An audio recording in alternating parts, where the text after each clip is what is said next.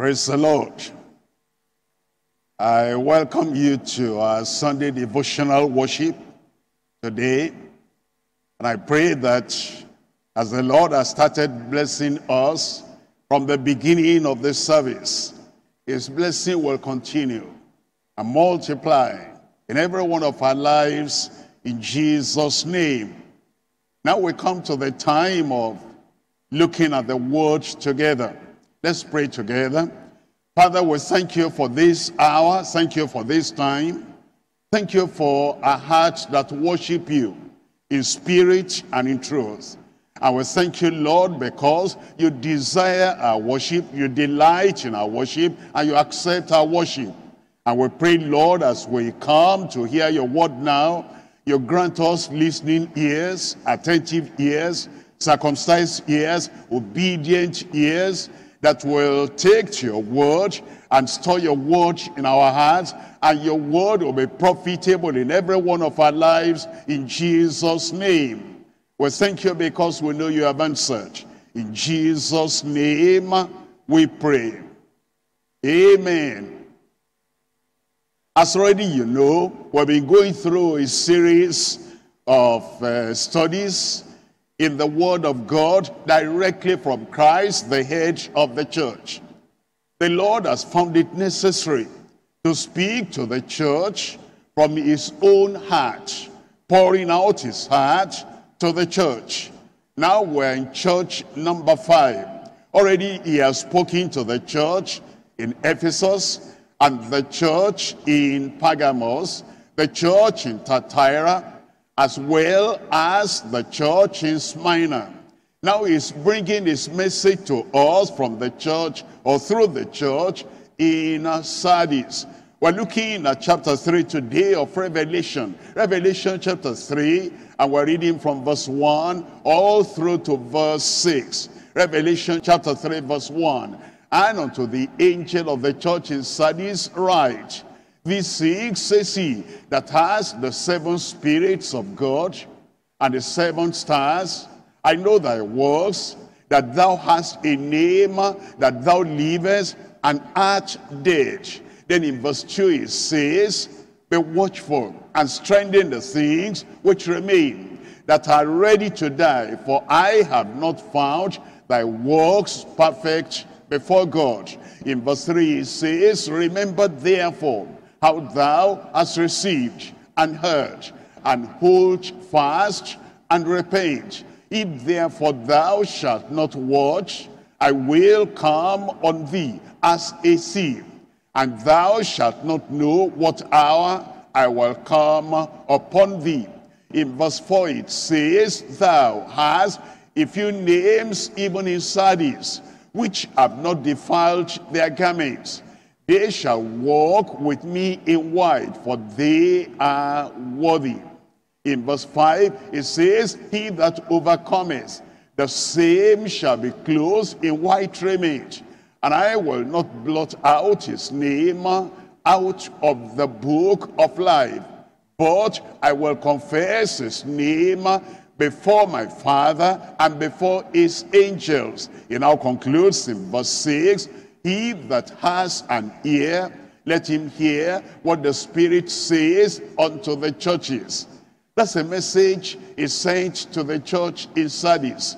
And then he tells us at the conclusion of that message in this, verse 6, it says he was not talking only to the church in Sardis, but he's talking to the whole church all the churches. It says, he that has an ear, let him hear what the Spirit says unto the churches, unto the churches of that first century, unto all the churches of every generation, unto all the churches in this generation, unto all the churches at the time of his coming again. It says, I come, I come suddenly, and I come unexpectedly, and I'm going to come assuredly. And he says, I will come on thee. I will come to thee. And I will come at a time you are not expecting. And at such a time like that, when we're waiting for the coming of the Lord, and we know he can come any moment, any time from now, to make the dead in Christ, those who have died in Christ, to rise up, and those of us who are still alive, to take us away, to catch us away in the rapture and take us to heaven. At such a time like this, he wants us to have the appropriate attitude to the word of God as we're hearing. He that has an ear, let him hear what the Spirit says unto the churches, the churches of the last days. As we look at this message, we're titling the message, Awakening Dead Members in a Dying Church. Awakening Dead Members in a Dying Church. We're dividing the message to three parts. Number one, recognizing and awakening spiritually dead souls. Number two, remembering and applying the Savior's divine specific. That word specific there is a word that is used for uh, prescription in medicine. In medicine, when you prescribe, you can call it prescription after you have diagnosed the problem, or you can call it specific. And the divine specific, the divine medicine the Lord is given, it says well to remember and well to apply the Savior's divine specific. Point number three, refining and abiding with sanctified diligent saints. We come to point number one now, and we're reading from uh, Revelation chapter 3, verse 1. In Revelation chapter 3, verse 1, and unto the angel of the church in Sardis write, and unto the whole church in Sardis write. You see, at that time, they had just one church in every city. Even if they had branches, like we have, we have branches there, branches there, branches there in one city, and we have districts and we have groups. All those groups together, all those districts together, the Lord addressed them as one church because he sees the unity of the church. He sees the fellowship of the church. He sees the togetherness of the church. Even though we're in different places because of uh, maybe having a church building that will contain everyone, he still sees the church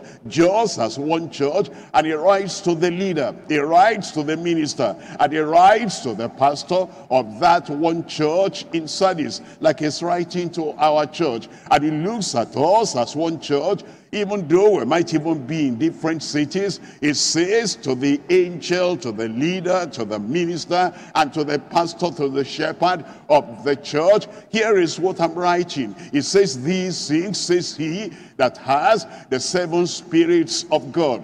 You understand? It's talking about the seven aspects of the Spirit of God and the seven descriptions of the same Spirit of God. Even those of us who are human beings, you sometimes describe us. For example, you take a man, you say he's a man. You take that same man and you say he is a professional, he's an engineer. That same man you say he is a husband. That same man you say he is a father. That same man you say he is a neighbor. He's talking about the same personality, divine personality. And he's talking about the fullness of that spirit. He's talking about the perfection of that spirit. He's talking about the completeness of that spirit. And he says Christ has the seven spirits of God, the fullness of the spirit of God and the seven stars. The stars stand for the ministers, the angels of the churches. And it says, I know thy words, that thou hast a name, that thou livest, and art dead.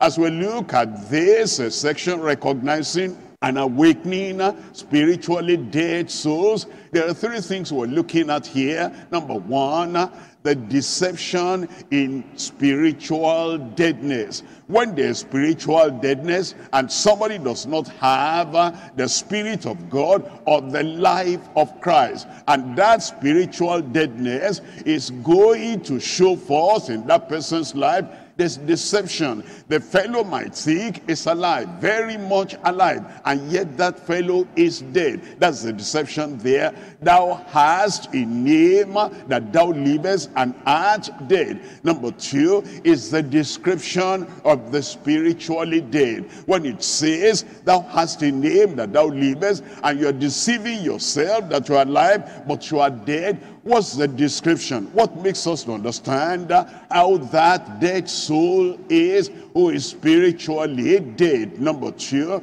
the description of the spiritually dead. Number three, we cannot just talk about the dead without talking about the deliverer.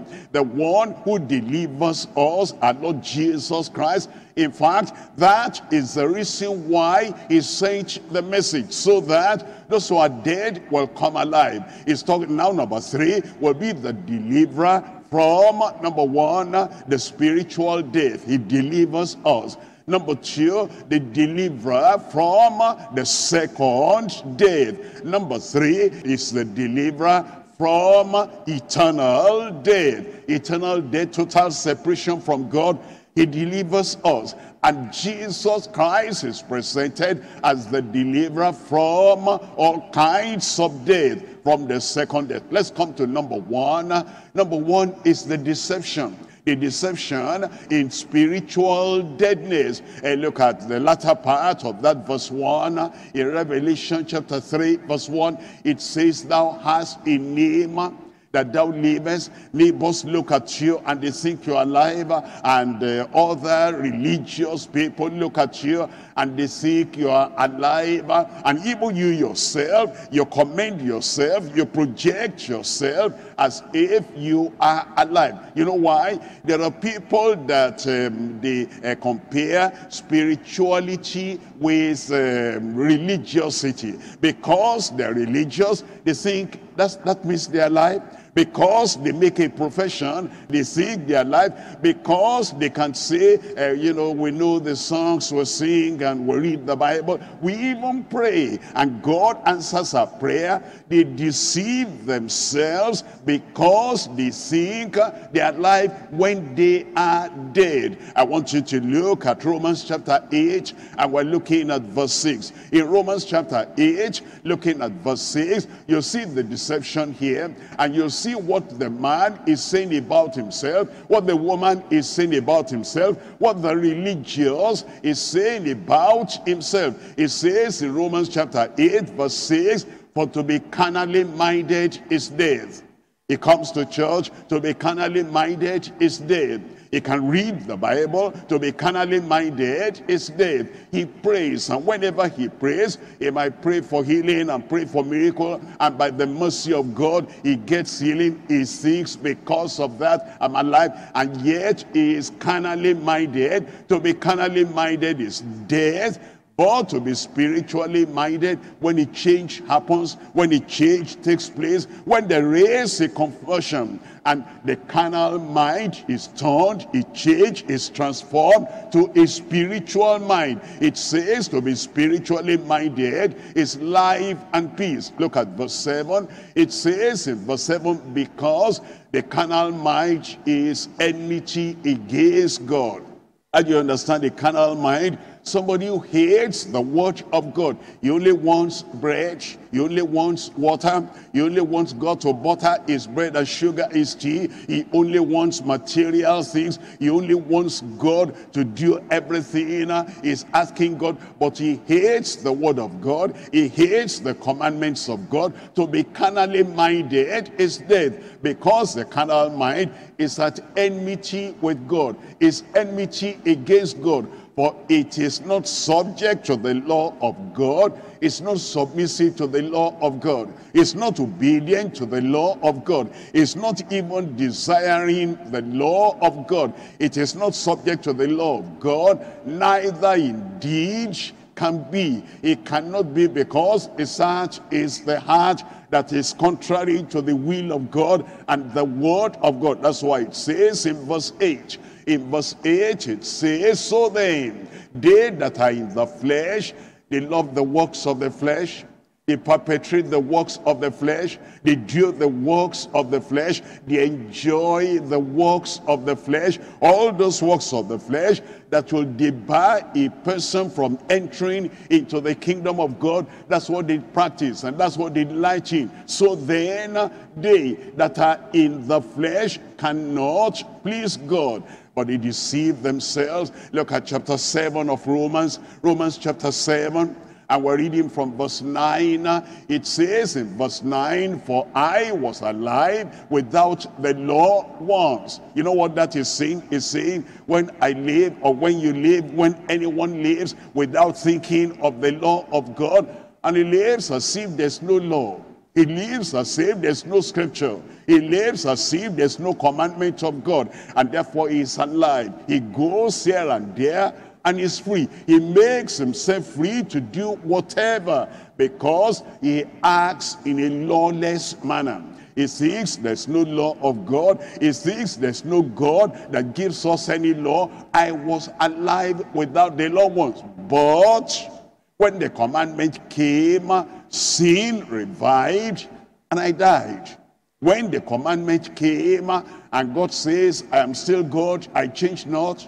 When the commandment came and God says, I love righteousness, I love holiness. When the commandment came and it says, if you are going to please me, thou shalt not do this, you will not go that direction. And when I heard that, sin revived. The sin was there, but it appeared dormant.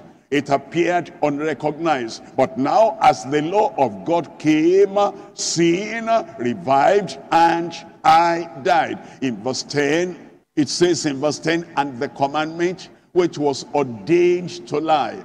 The commandment which was ordained to eternal life, abundant life, spiritual life, I found to be unto death. It says in verse 11, in verse 11, it says, For sin, taking occasion by the commandment, deceived me.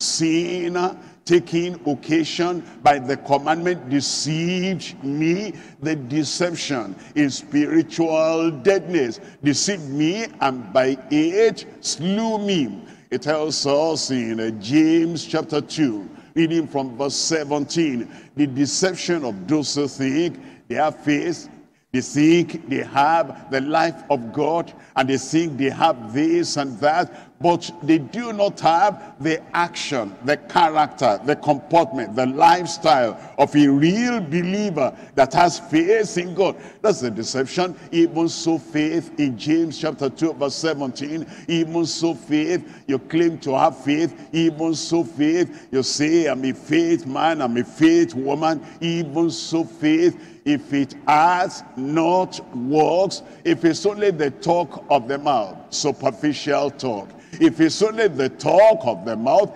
empty profession, if it has not works, it's dead being alone. Look at verse 20 there. It says in verse 20, But wilt thou know, O vain man, that faith without works is dead?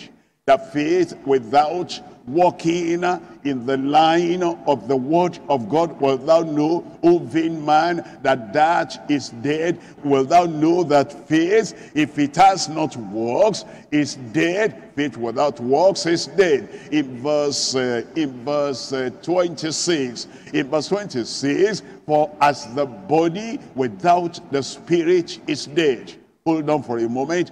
The people of those days, both in the Old Testament until the New Testament, there was a way they could embalm a dead body and preserve that dead body.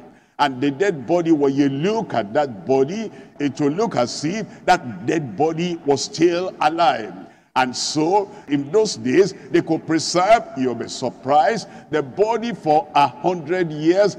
In fact, we have read in history of dead bodies that were preserved for more than a thousand years. And the apostle is making an illustration from that. And he's saying, for as the body without the spirit is dead, even though they might preserve it, and it looks to an ordinary person as a body that is alive, yet it is dead. So faith without works is dead also. Faith without works is dead also. I want you to look at Titus chapter 1 verse 16. Titus chapter 1 verse 16. For they profess that they know God. That's their deception. They deceive themselves and they think they know God. But in works they deny him. They say they have faith, they profess they have faith, but they don't have the corresponding works and the actions. It says, but in works they deny him being abominable and disobedient and to every good work reprobate. Now we've seen uh, the deception of spiritual deadness. Let's come to the second section now. Is the description of the spiritually dead. The description of the spiritually dead. We're coming back to Revelation chapter 3 verse 1 uh, and unto the angel of the church in Sardis. Remember this is written to our church. This is written to every church. He that has an ear let him hear what the Spirit says unto all the churches. These things says he that has the seven spirits of God and the seven stars. I know thy works. You may not even know. I know thy works. Your neighbors may not know. I know thy works. And religious people around you may not know about your deadness, about your spiritual death. It says, but I know, I know thy works, that thou hast a name, that thou livest, thou hast a name, that thou livest, don't dodge that. Hear the word of God. See what the Lord is saying. Allow God to describe the stage of the spiritually dead to you. And then you compare your spiritual life, your profession, your witness, your testimony with what the Lord is saying. It says, thou hast a name that thou livest and art dead. And look at Ephesians chapter 2. We're reading from verse 1. The description from the word of God. The description from the spirit of God. The description from the scriptures about the spiritually dead. In Ephesians chapter 2 verse 1. It says, and you are say quickened who are dead in trespasses and sins who are dead in trespasses and sins. Uh, there are times, um, I don't know whether you uh, had this experience before, you go to um, a medical uh, person and uh, he wants to either inject you or he wants to draw the blood out to test the blood. But they deaden the place so that you will not feel the pinch and you will not feel the pricking of the pin and as uh, they use that solution to uh, deaden that place you'll not feel anything at all. Even though they put a pin there it's saying the same thing. There are people who are dead. Their consciences are deadened and their hearts are deadened. Their spirits are deadened. And their, the inner man in them is deadened. And even though there are trespasses, even though there are sins, they don't feel anything. The conscience does not feel anything. The heart does not feel anything. The mind does not feel anything. You know why? Because the conscience has been deadened because the heart has been deadened by trespasses and sins. And the Spirit of God uh, does not even penetrate to judge them and to uh, make them prick and to make them feel the sense or the sensation of the transgression, of the trespass, and of the sins. They are dead in sins and trespasses. Let me ask you, you commit sin without feeling guilty? You tell lies without feeling any pinching? And do you steal without feeling any condemnation? Do you commit adultery, fornication without even feeling anything at all? Are you so dead that when you do an evil sin, when you get angry, when you fight, you don't feel any guilt at all? And you say, I don't feel any guilt. I feel all right. You know why? Because you are dead in trespasses and sins. It tells us in verse 2. In verse 2 it says, wherein in time past, before our conversion, wherein in a time past before we had salvation. Wherein in a time past before the spirit of god quickened us. Wherein in a time past he walked according to the course of this world That's why some people are dead spiritually. They don't know. They say so-and-so is doing it according to the course of this world. Such and such is doing it according to the course of this world. They say that's what everybody does. And because they walk like everybody else, they think like everybody else, they act like everybody else, and they conduct their lives like everybody else according to the course of this world, they think it's all right. They think the majority carries the vote. The majority is right. And since I'm acting and since I'm living like everybody does, I must be all right. That's the description of the spiritually dead. And it says, according to the prince of the power of the air. That's the devil. The devil controls them. And the devil, as he controls them, and he makes them do the evil they ought not to do, he also stops the mouths of their conscience. He muscles the mouths of their conscience, that their conscience cannot say anything about what they're doing. And it says, it's the spirit that now walketh in the children of disobedience in the children of disobedience. You see the language of scripture there is making the disobedience as their parent disobedience as their master disobedience as the authority in their lives it says these are children whose parents, that is uh, emotionally and psychologically and spiritually, the parent is disobedience. They are walking uh, in the way of the world as the children of disobedience. And then he tells us in verse 3, it says in verse 3, and among whom also we all are. Those of us who are converted were no more like that. That's why it's uh, using past tense. We all had a conversation in times past in the lust of our flesh, fulfilling the desires of the flesh. Remember, this is describing those who are spiritually dead, fulfilling the desires of the flesh and of the mind, and were by nature the children of wrath, even as others. Why so? Why is that so? Look at verse 12. It says in verse 12 that at that time, this time we're describing before conversion. This time we're describing before salvation. This time we're looking at before a person meets the Lord and before he repents and before he is converted, that at that time you were without Christ. Christ gives life. Christ is the Savior. Christ is the one that sets us free.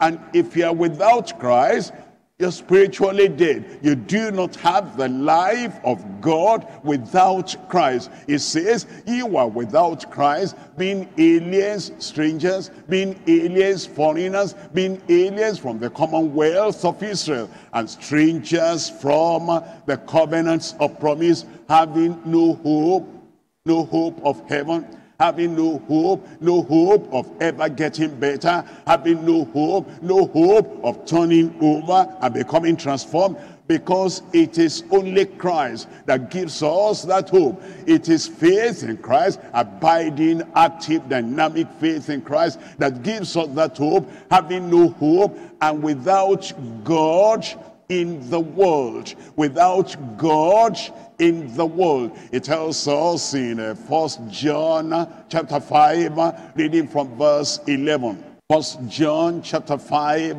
from verse 11 and this is the record that God has given to us eternal life and this life is in his son you understand without Christ without God we don't have spiritual life we don't have eternal life. And it says, those who are dead in sins and trespasses. In this world, they are without God. In this world, they are without Christ. If they are without Christ, they are without life.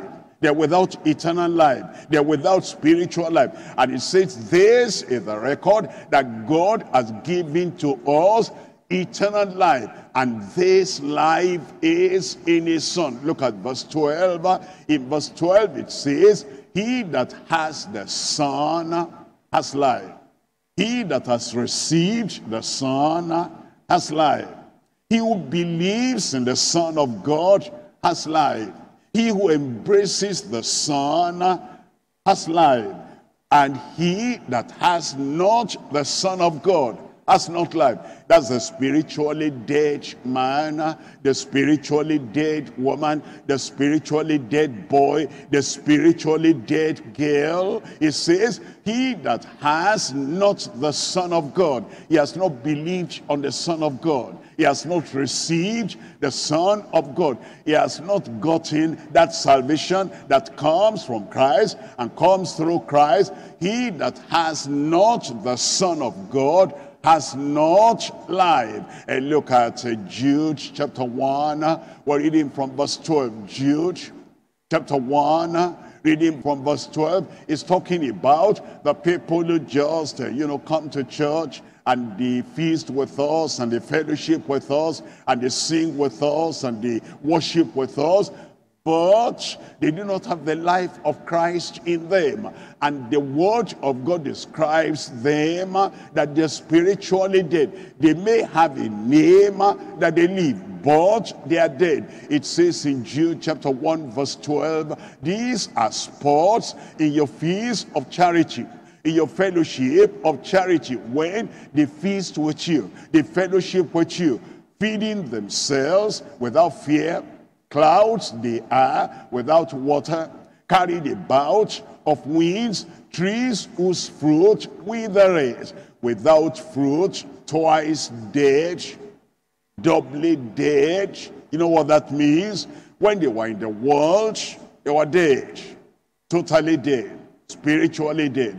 Now they come to church and they feast with the people of God and they fellowship with the people of God and you will seek that they'll become better. You'll seek, they'll be transformed. But now they're even more dead than when they were in the world. Twice dead. Maybe they came to uh, say that they received Jesus Christ as their personal savior. And then they came to life uh, supposedly. But now they're backsliding and they're dead again. They are twice dead. They're doubly dead. They're seriously dead. They're completely dead. There's no breath of life and there's no life of Christ in them at all. Twice dead, plucked up by the rules. How do you know such people? Look at verse 13. It says in verse 13, raging waves of the sea. They rage, they foam, they're furious, they're angry, they wear their temper on their sleeves. You know them anywhere they are. The noise of fighting, the noise of raging, uh, you can tell. And they feel no shame. Raging waves of the sea, foaming out their own shame. Wandering stars, they don't stay at home. They don't stay where they ought to stay. They don't stay in the place of work where they ought to be. And they don't stay at school where they ought to be. They are wandering here and there. They wander to this gang and wander to this other gang. And they wander everywhere. They are wandering stars to whom is reserved the blackness of darkness forever. Now, look at their attitude and their character. We're looking at verse 15. In verse 15, talking about their character, it says God is going to come, Christ is going to come to execute judgment upon all and to convince all that are ungodly among them.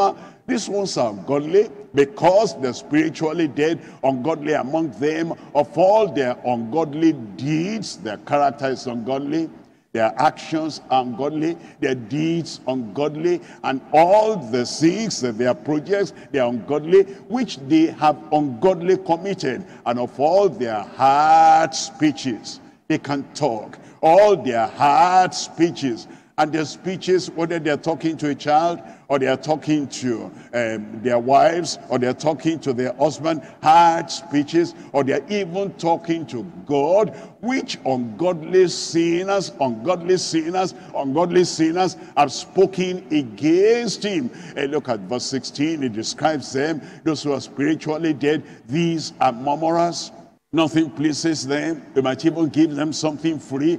They are not paying anything for that sin and still the murmur, is this all I'm going to have? You can give them chance, opportunity, property, We can give them anything. They always murmur like the children of Israel. They didn't pay anything for the manna coming from heaven every day, and yet they murmured and they complained and they grumbled. These are murmurers and complainers walking after their own laws, and their mouth speaketh great swelling words, having men's persons in admiration because of advantage. But why are we saying all this? Why did Christ reveal all this to the church, unto the angel of the church in Sardis? Right, these things says he that has the seven spirits of God and the seven stars. I know thy works, that thou hast a name, that thou livest and art dead. Why was he revealing that? Because he is the deliverer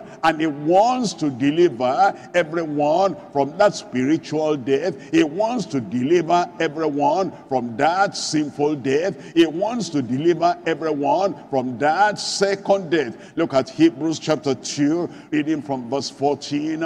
He is our deliverer because he has died for us and because he tasted death for every man. It tells us in Hebrews chapter 2 verse 14, for as much then as the children are partakers of flesh and blood, he also himself, Christ the Savior, he also himself Christ who suffered for you. He also himself, Christ our sin bearer, he also himself likewise took part of the same, that through death, his death on the cross, he might destroy him that had the power of death, that is the devil, and deliver them. Look at verse 15.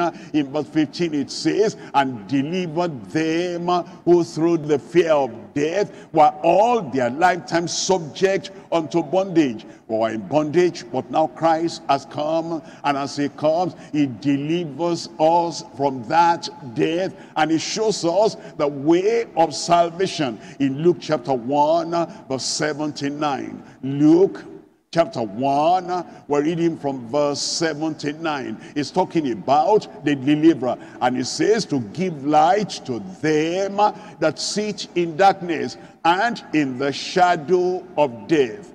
To give them light those who are sitting in darkness and in the shadow of death and to guide our feet in the path in the way of peace. That's what he does. But you know, we have a part to play in Ephesians chapter 5, uh, verse 14. Ephesians chapter 5, uh, reading from verse 14, uh, it says, Wherefore, he says, Awake, thou that sleepest, awake, thou that is slumbering, awake, those who are spiritually dead, and arise from the dead. Arise from the dead. Is calling us to repentance. Is calling us to come into the Lord and then holding on to the Lord and believing in the Lord. Arise from the dead, and Christ shall give thee light and Christ shall give thee life, and Christ shall give thee eternal life. Come to Christ, and he will give you eternal life. And as you come to Christ, you abide in Christ and remain in Christ, so that the second death, the final death, will not catch up on you. We're looking at Revelation chapter 2, verse 11. Revelation chapter 2, verse 11. He that has an ear, let him hear what the Spirit says unto the churches. Arise from the dead and let Christ give you life and give you light. It says, he that has an ear, let him hear what the Spirit says unto the churches. He that overcometh shall not be hurt of the second death.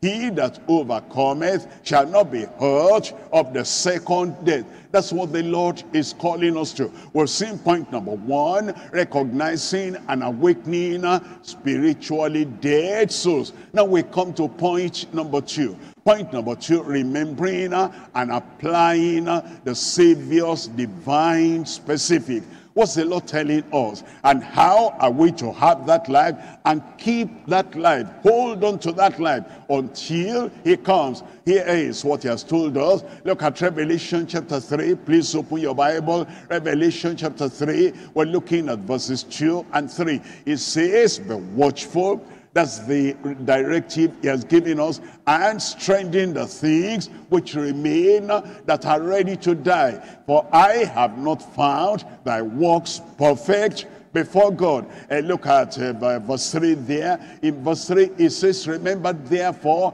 how thou hast received and heard, and hold fast and repent. If therefore thou shalt not watch, I will come on thee as a thief, suddenly and quickly, unexpectedly, and thou shalt not know the hour I will come upon thee. Here is what the Lord is telling us. Yeah, it might say the things were supposed to you so that there'll be no confusion. Number one, it says, be watchful.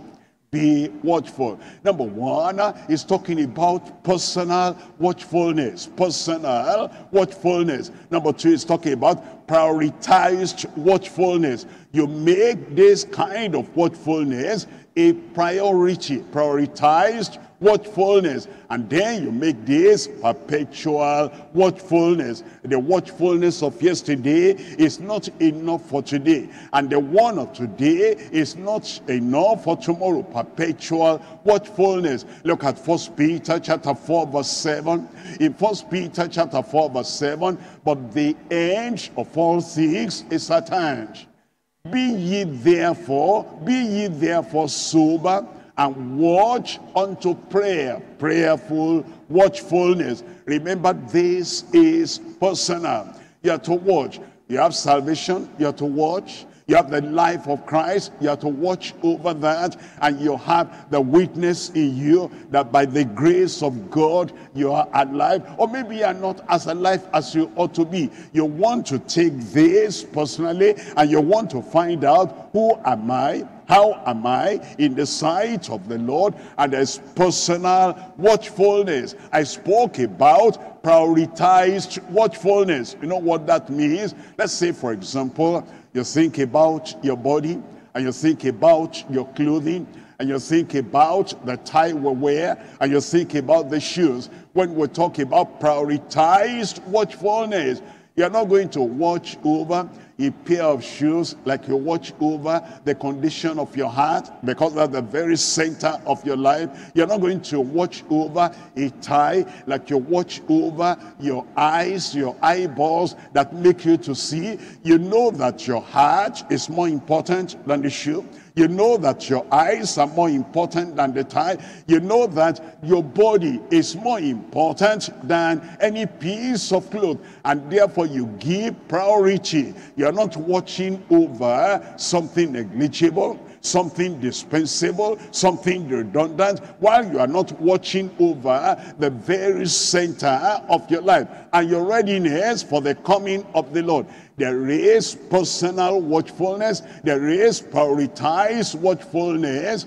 And the devil is not sleeping. The devil is not on vacation. That's why the watchfulness is perpetual. Every time, personal watchfulness, prioritize watchfulness and perpetual watchfulness. It tells us in um, First Peter chapter 5, uh, reading from verse 8, it says in First Peter chapter 5, verse 8, be sober, be vigilant, because your adversary, the devil, as a running lion, walketh about seeking whom he may devour. In verse 9, it says, whom receives steadfast in the faith, knowing that the same afflictions are accomplished in your brethren that are in the world. Number two, what the Lord Jesus said in Revelation chapter 3 verse 2. He says, and strengthen the things that remain. He says, be watchful and strengthen the things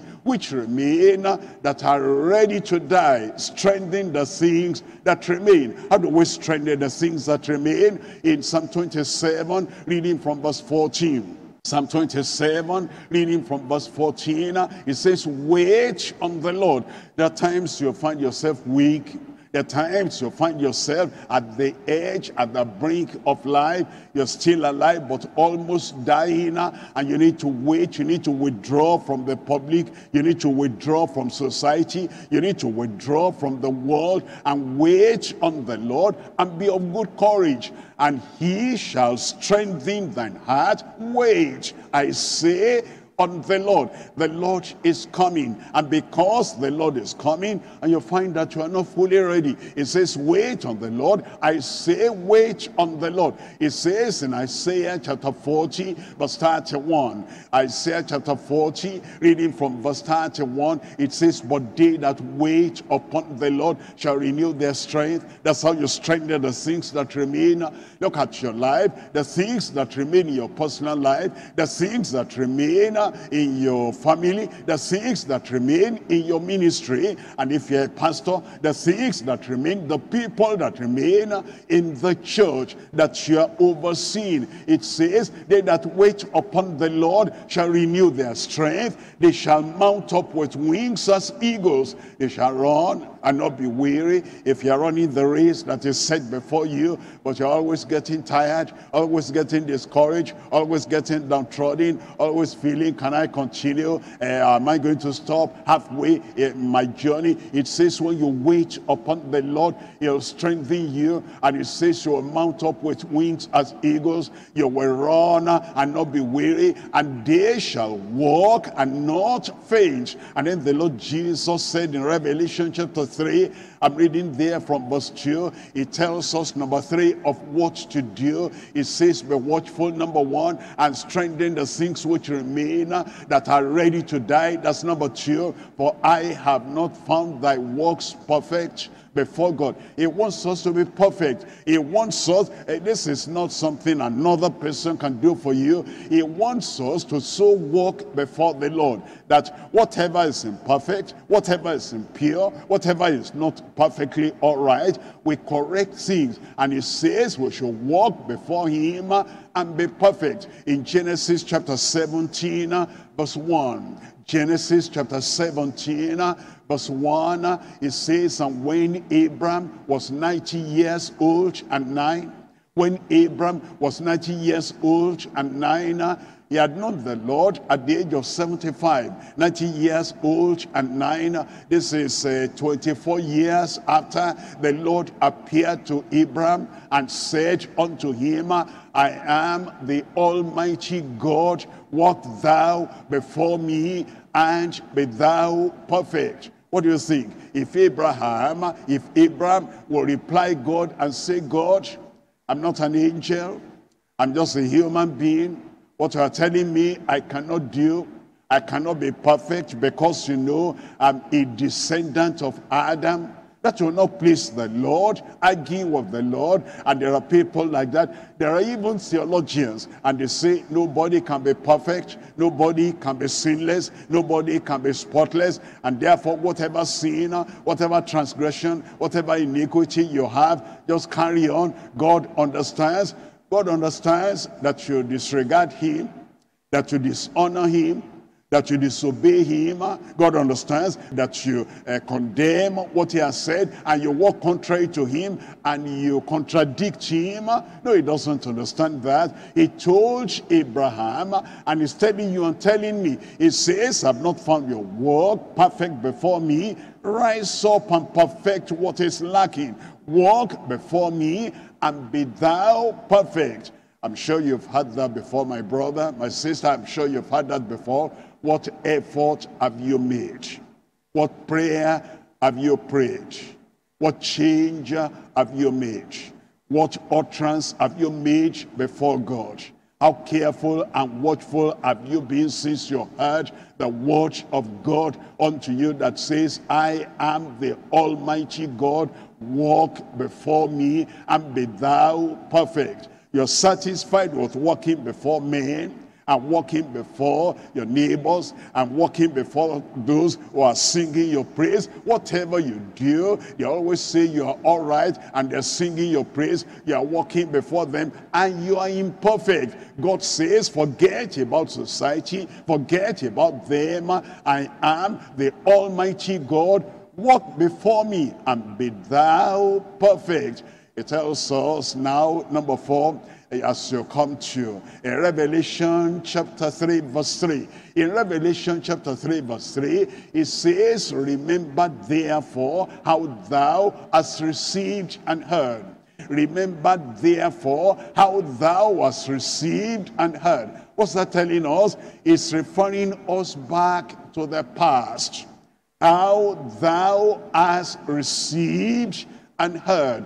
You see, there are messages of uh, the present day. They are not like we heard. They are not like we received. There are messages of the modern time. There are messages of the dead, dying church. There are messages of just positive thinking, positive proclamation, and they are not telling us the real truth. And that's of the present day because they are dull of hearing. Therefore they heap unto them men having itching ears. But it says, leave these superficial things you are hearing now, and leave the superficial things the church that is falling, falling away from the Lord before the Lord comes. He says, leave all that and go back to the origin. Go back to the commencement. Remember, therefore, how thou hast heard and how thou hast received. It wants us to remember that. In John chapter 15 verse 20,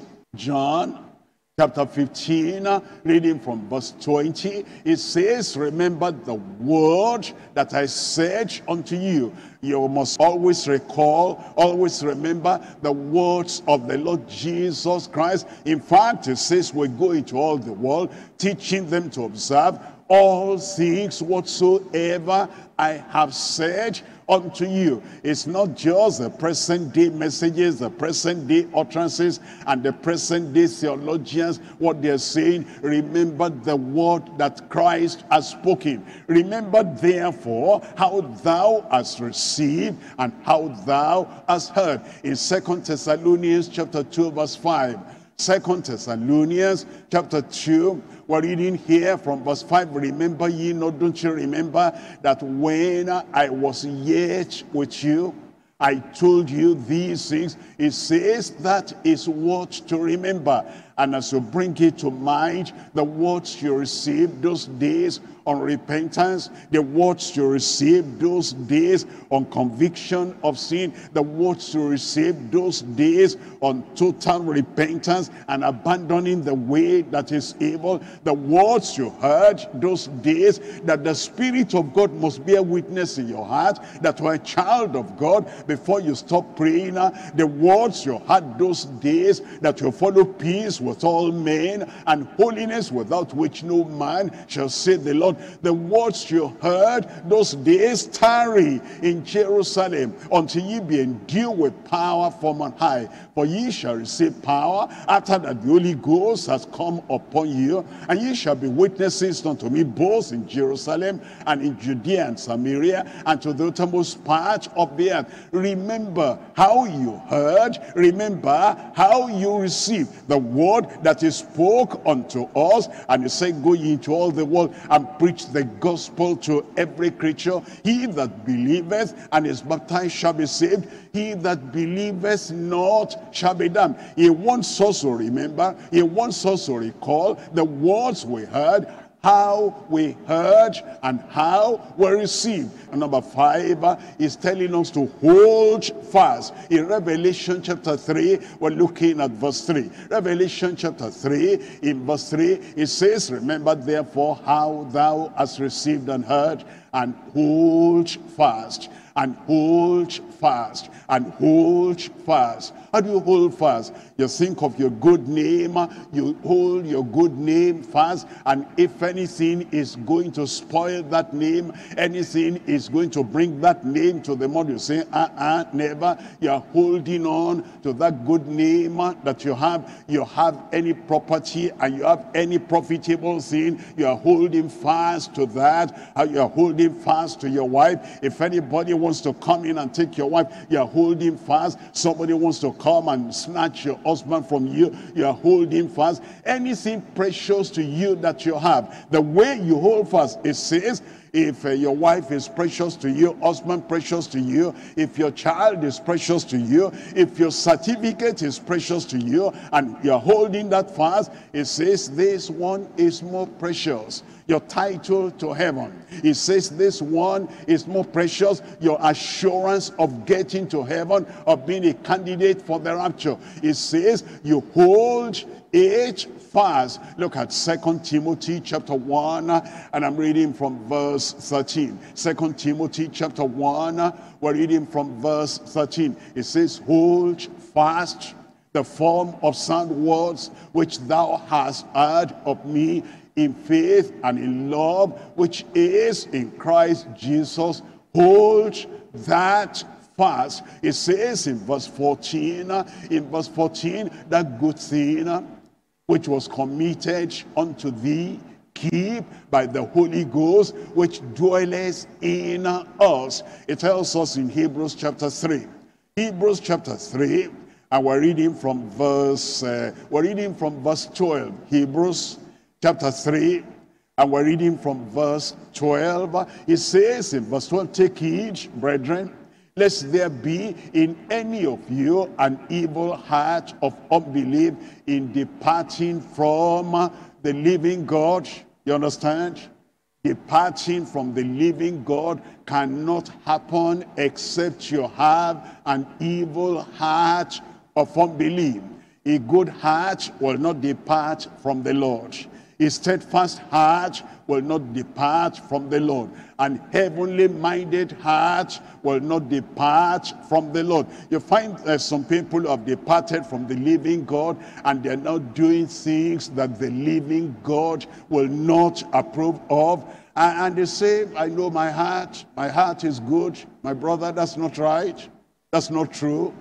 An evil heart of unbelief is what drives a person to depart from the living God. In verse 13 it says, But exhort one another daily, while it is called today, lest any of you be hardened through the deceitfulness of sin. And you know, if somebody is hardened, it is not that I'm becoming more courageous, that's why I'm hardened I'm becoming more matured. That's why I'm hardened. I'm becoming more intelligent. That's why I'm hardened. No, not at all. You're misplacing the facts. If you are hardened, my brother, if you are hardened, my sister, it's because of the deceitfulness of sin. But it says in verse 14, in verse 14, for we are made partakers of Christ. If we hold the beginning of our confidence steadfast unto the end. We hold the beginning of our confidence steadfast unto the end. The Lord is giving us the medicine that will cure the disease that will waken that will awaken the spiritually dead it says number one be watchful Number two, strengthen the things that remain that are ready to die. Number three, to perfect your works. Number four, to remember how you received and heard and then do the first works again. Number five, to hold fast that good thing that you have. Number six is to repent that means to return. That means to renew your consecration commitment unto the Lord. In Revelation chapter 2, reading from verse 5. Revelation chapter 2, verse 5, uh, it says, Remember therefore from whence thou art fallen.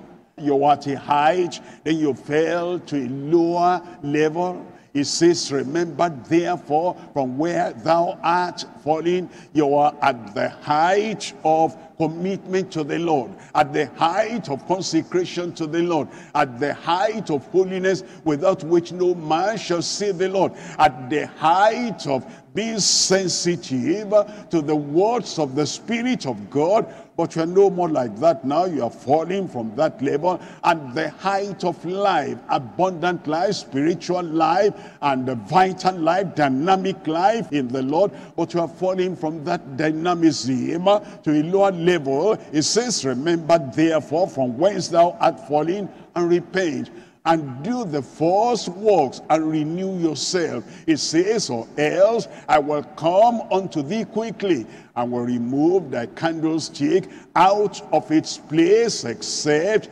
thou repent. It tells us in Revelation chapter 3 verse 19. Revelation chapter 3 verse 19. Uh, it says, as many as I love, I rebuke and chasten. As many as I love, I correct and chasten. As many as I love, I rebuke and chasten. Be zealous therefore and repent. Be zealous, therefore, and repent. Why is he telling us all this? He's telling us so that we'll be ready for his coming. Ready for his coming. Revelation chapter 3, we're looking at verse 3. In Revelation chapter 3, verse 3, it says we should remember.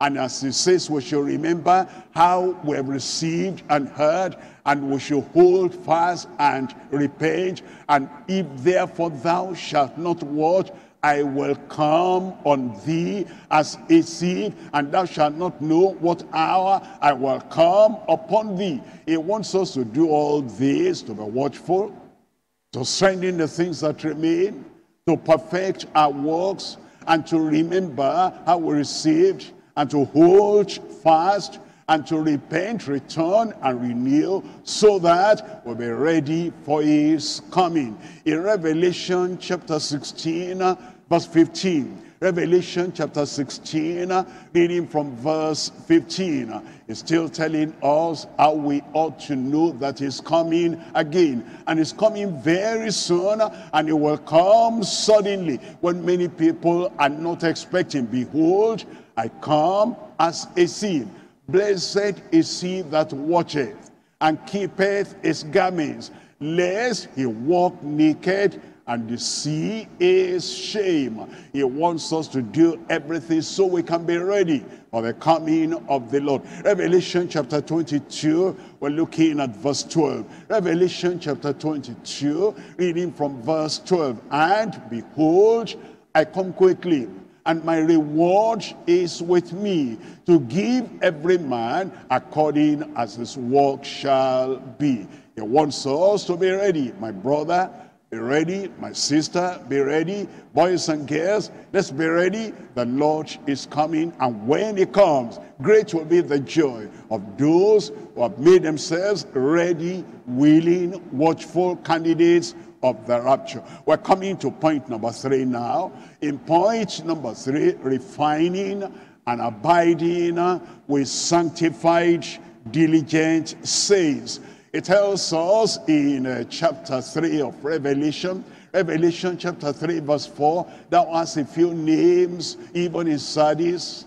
There was a few names even in Sardis. You know, there are people that say it's not my fault. The church is cold, that's why I'm cold. The church is dead, that's why I'm dead. The church is uh, superficial, that's why I'm superficial. The church is not serious, that's why I'm not serious. The church is not watchful. That's why I'm not watchful.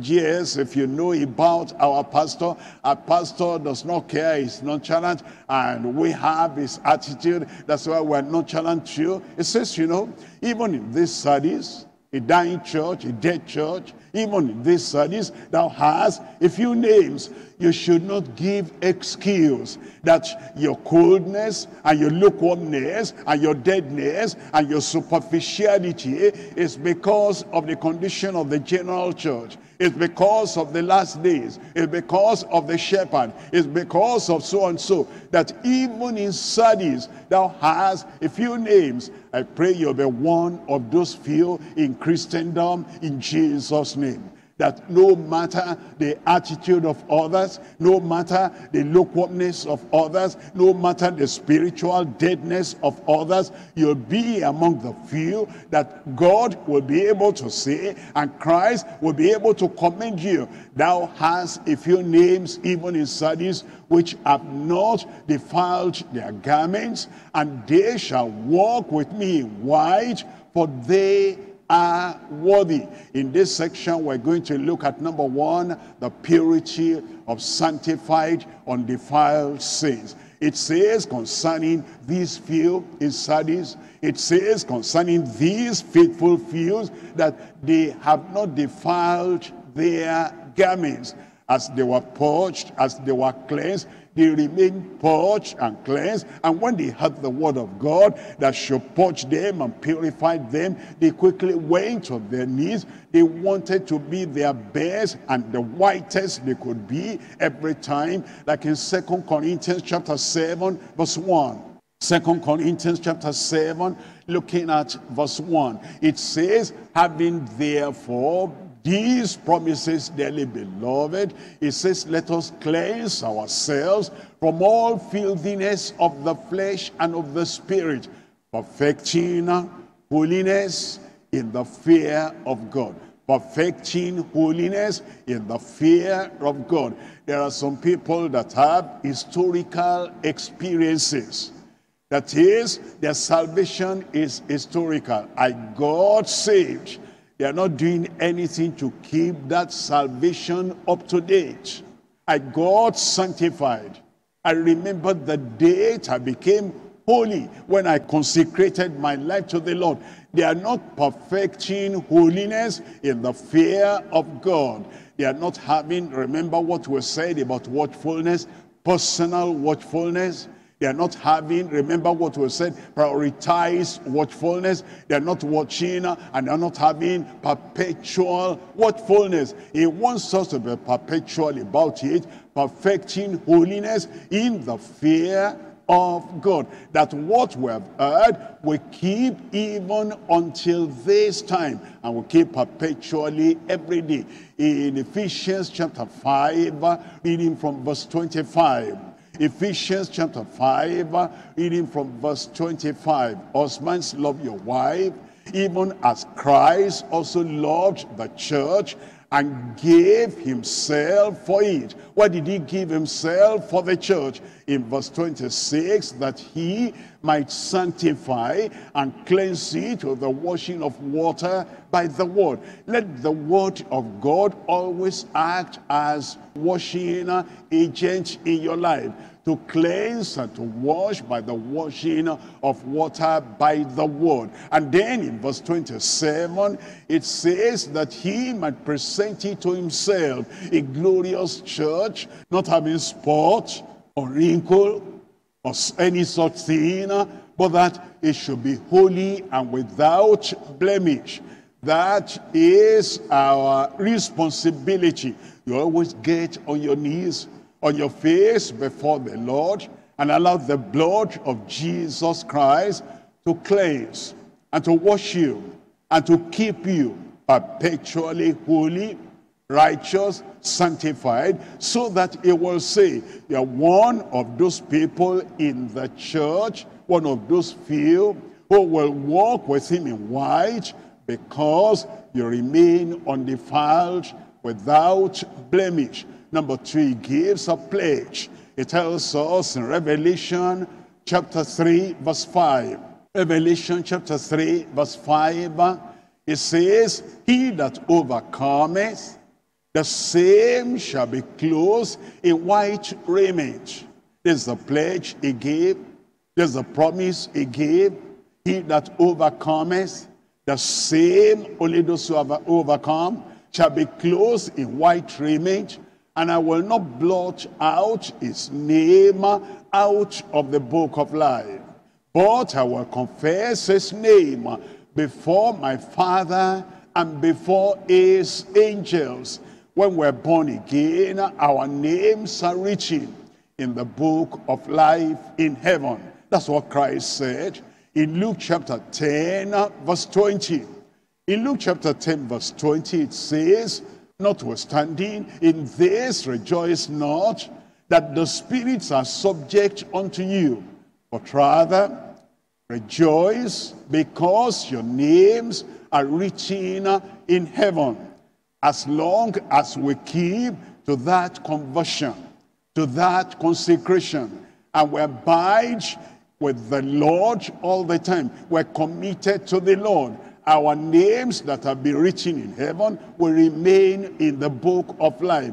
It says, as long as we're overcoming, He that overcometh will be clothed with white raiment, and I will not blot out his name out of the book which I have written, and I will confess his name before my Father who is in heaven.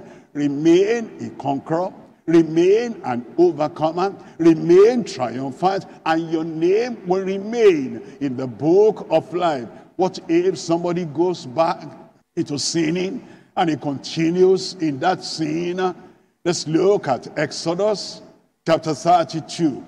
Exodus chapter 32, we're looking at verse 32. Yet now Moses was praying to God concerning the children of Israel, concerning Aaron and the elders of Israel and the people of Israel. Yet now, if thou wilt forgive their sin, he didn't complete that sentence. He said, if you will forgive their sin, well and good, and if not, blot me, I pray thee, out of thy book which thou hast written. God has a principle. God has a practice.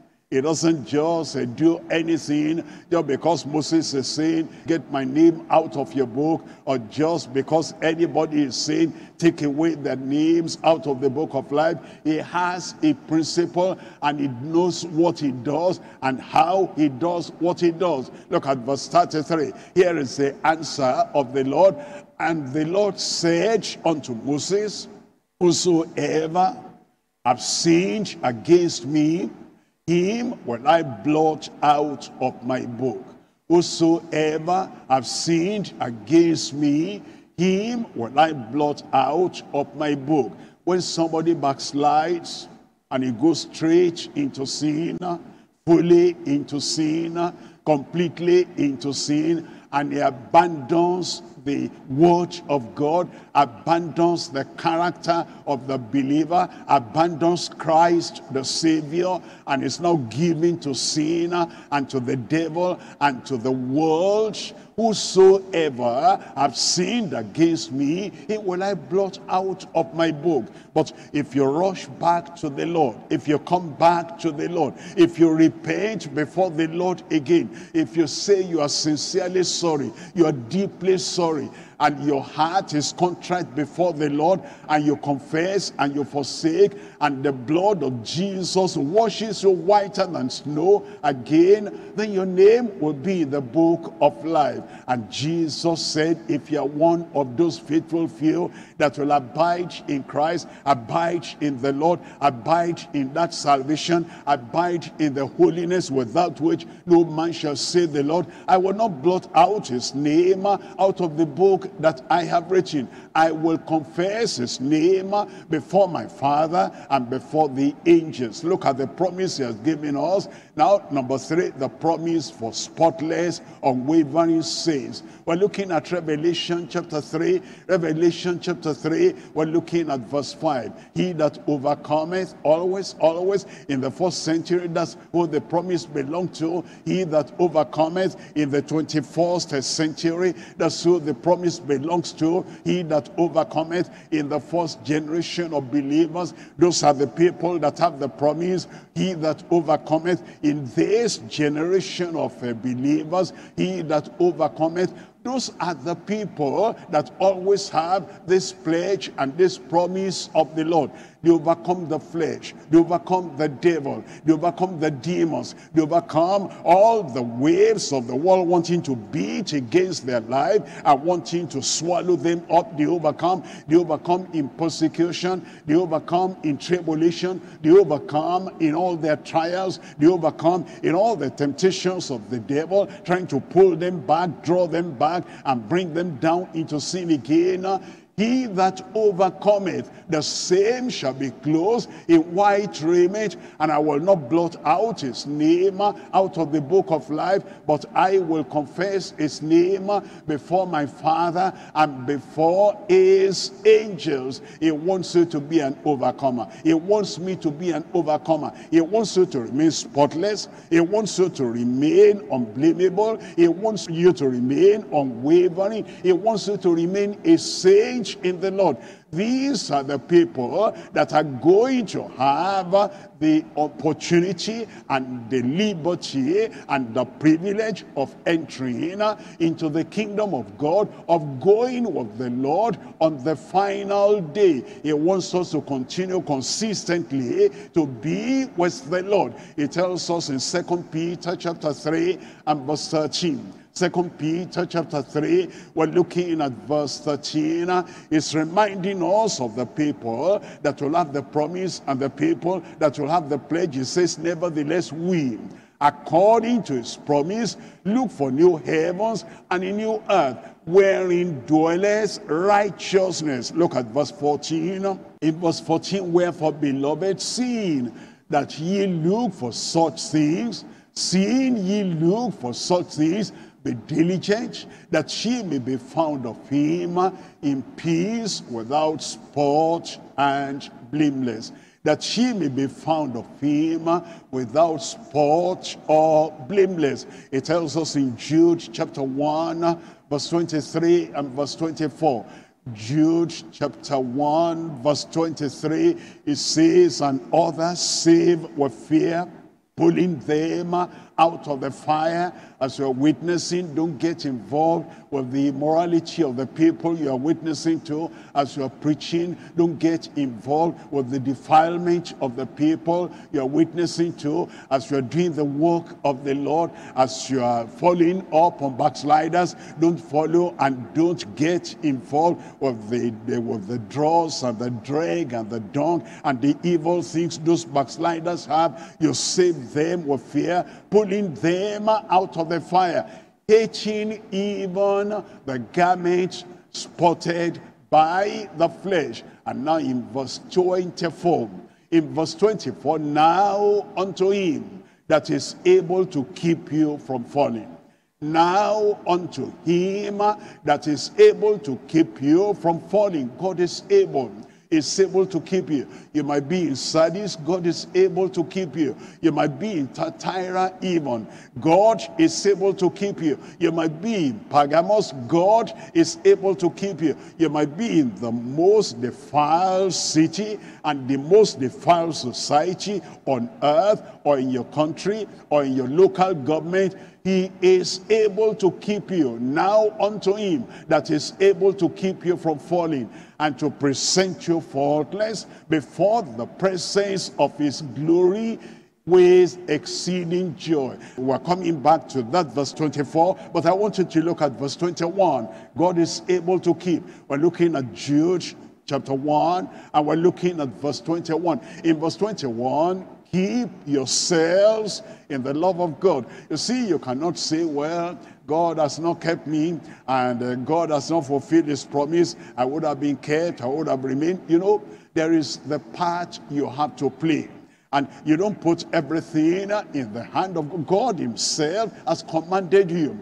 Keep yourselves in the love of God. You cannot put everything on your pastor on your shepherd, on the bishop. You cannot put everything on the, on the angel of the church in Sardis. It's because he has not done this. You have a Bible to read. You have a church to come to. And then you have the word of God that is coming to us. It's there on the net. It's there on the YouTube. It's there on Deeper Life Radio. It's there everywhere. If you really want to be kept, the word of God is there. Keep yourselves in the love of God, looking for the mercy of our Lord Jesus Christ unto eternal life. And now, as you do your part, he tells us in verse 24, it says, if you're willing to be kept, God is able now unto him that is able to keep you from falling and to present you faultless before the presence of his glory with exceeding joy. Look at uh, verse 25 25, it says in verse 25, unto him, to the only wise God, our Savior, be glory and majesty, dominion and power, both now and ever. And everybody said, Amen. In your life, he'll be glorified. In your family, he'll be glorified. As you wake up, as you are revived, as you uh, get away from the spiritual slumber and the spiritual sleep, and you allow the word of God uh, to be dynamite in you, and you rise up in the arms of faith, or you kneel down with real confidence before the Lord, and everything that needs to be done, you want to do everything, you want to watch, and then you want to remember the word of God and you want to strengthen yourself in any area where you are where you are falling or you have gone back and then you are returning fully with all your heart and all your soul and all your mind. And as you give yourself fully to the Lord and then you want to be ready for the coming of the Lord and you are getting prepared he'll be glorified in your life to the only wise God our Savior. Be glory and majesty and dominion and power both now and forever and amen your life and amen your spiritual life and amen as he quickens you and he wakens you he that has an ear, let him hear what the Spirit says unto the churches, what the Spirit says unto every member of the church. Let's rise up now and speak to the Lord in prayer. Let's rise up and say, Lord, I've heard your word. I want to be awake and I want to have the strength of the Lord. I don't want to keep on sleeping. I don't want to be dead. I don't even want to be dying. I want to be dynamic. I want to be alive. I want to have the life of Christ in me. He has spoken to you. Rise up and speak to the Lord. Examine your spiritual life.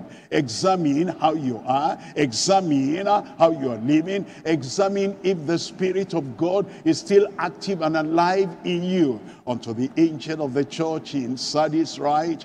He's telling you that he has the seven spirits of God. He's telling you that he has the seven stars. He says, I know your works and I know you have a name that you live. But are you really alive? I know you have a name that you live. Are you really having eternal life? I know that you have a name that you live. Are you having that spiritual life? Or is he saying, but thou art dead?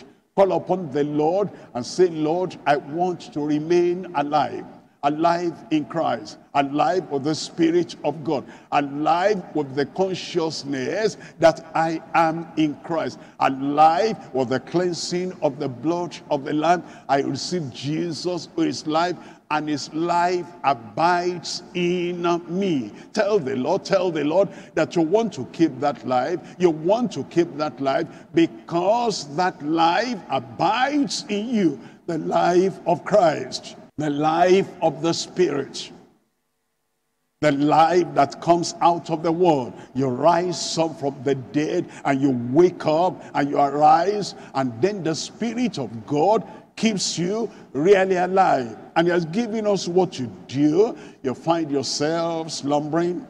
You find yourself sleeping. You find yourself idle.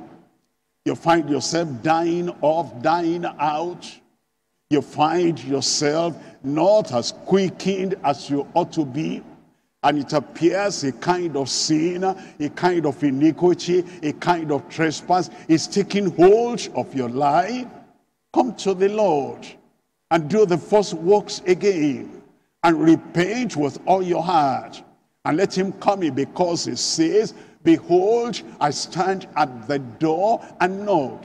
If anyone hears my voice and opens the door, open the door of your heart unto the Lord. Open the door of your heart to the spirit of life that will quicken you and make you alive and dynamic in Christ. It says, if anyone opens the door, I will come in and I will sup with him, I'll fellowship with him, and he with me. As many as I love, I rebuke and chasten. Repent ye therefore, be zealous therefore, and repent. And do what he has told us to do, the specific that he gave us, that to be watchful, don't be careless, be watchful, personal watchfulness. Before you watch over other people, personal watchfulness prioritized watchfulness. that there is this watchfulness in your life, that personally, in a prioritized way, you watch over the important thing. When Christ comes, what will he be looking for? That's what to watch over. Don't watch over things you are not going to take to heaven while you miss the things that will qualify you for heaven. Prioritize your watchfulness, perpetual watchfulness, and strengthen the things that remain. Strengthen the things that remain. They that wait upon the Lord shall renew their strength. Wait upon the Lord. Wait upon the Lord, and he will renew your strength while others are fainting, while others are dying out, while others are dying up. If you will wait on the Lord, he'll quicken you. He'll revive you. He'll put that spirit of life in you. And that spirit of life will set you free from the law of sin and death. As the Lord called Abraham and he said, walk before me and be thou perfect. The same thing is telling you, any area of imperfection in your Christian life, in your ministry, in your profession, are you excusing imperfection? Are you accusing God because it's demanding perfection? Walk before me and be thou perfect. Are you giving excuse? The place around me, the people around me, this is who they are, this is what they are. What does that mean?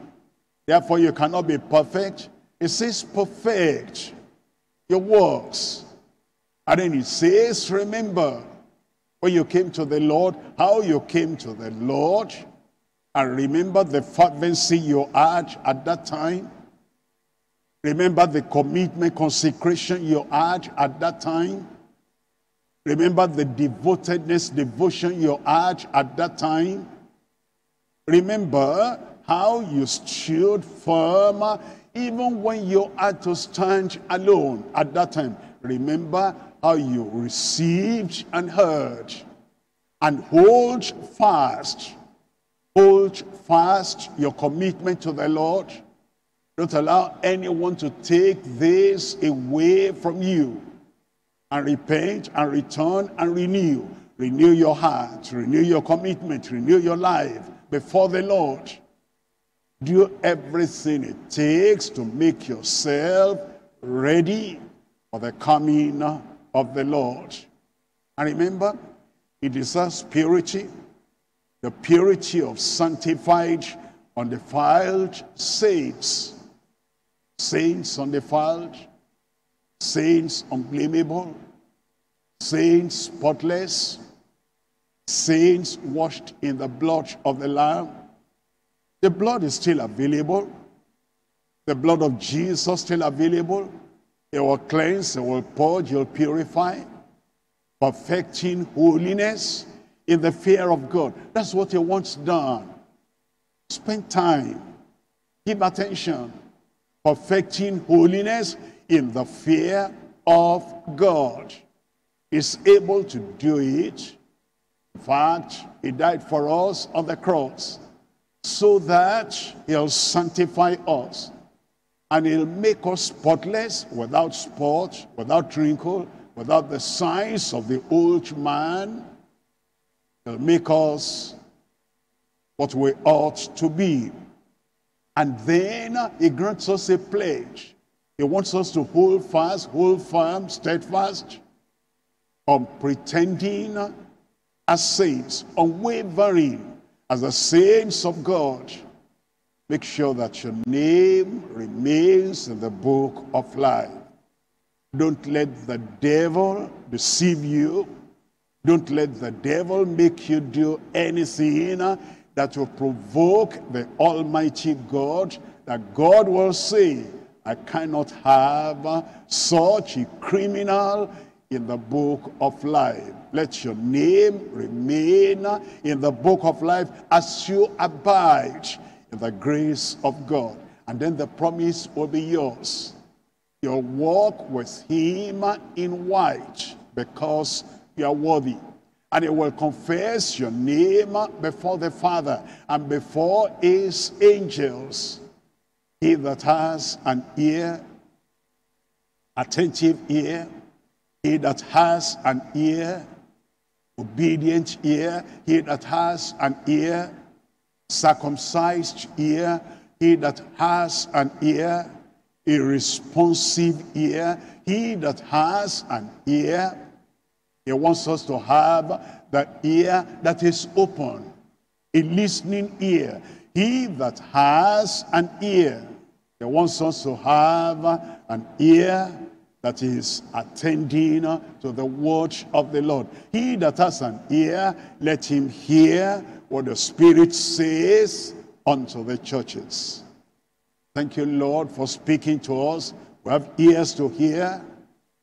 Write indelibly what you have spoken to us on every heart. Let's pray together. Father, we thank you for your word. We thank you for your love. In love, you're speaking to us. And we pray, Lord, all the promises of the Lord will be ours in Jesus' name.